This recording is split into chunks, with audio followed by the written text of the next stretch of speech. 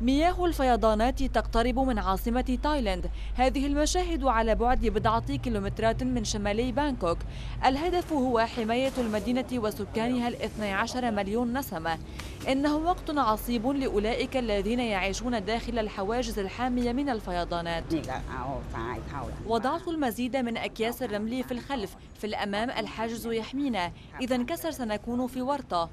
ولكن ليس بيتها الوحيد هو الذي سيتضرر. الحاجز هنا مهم. إذا انكسر المياه ستغمر بانكوك. المد والجزر يقلقان الناس ولكن يبدو أن السلطات تفوز في هذه المعركة.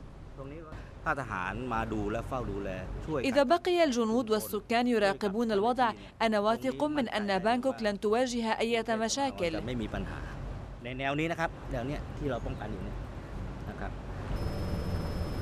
تايلاند تواجه أسوأ الفيضانات منذ عقود.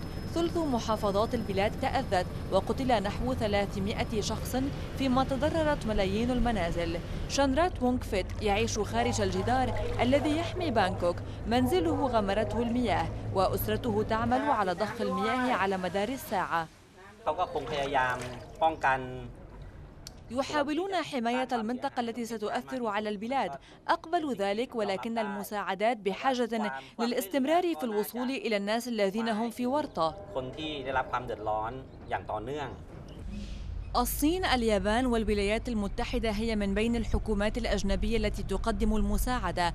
قد تكسب بانكوك معركتها ضد الفيضانات ولكن ملايين آخرين في أنحاء البلاد بحاجة إلى المساعدة.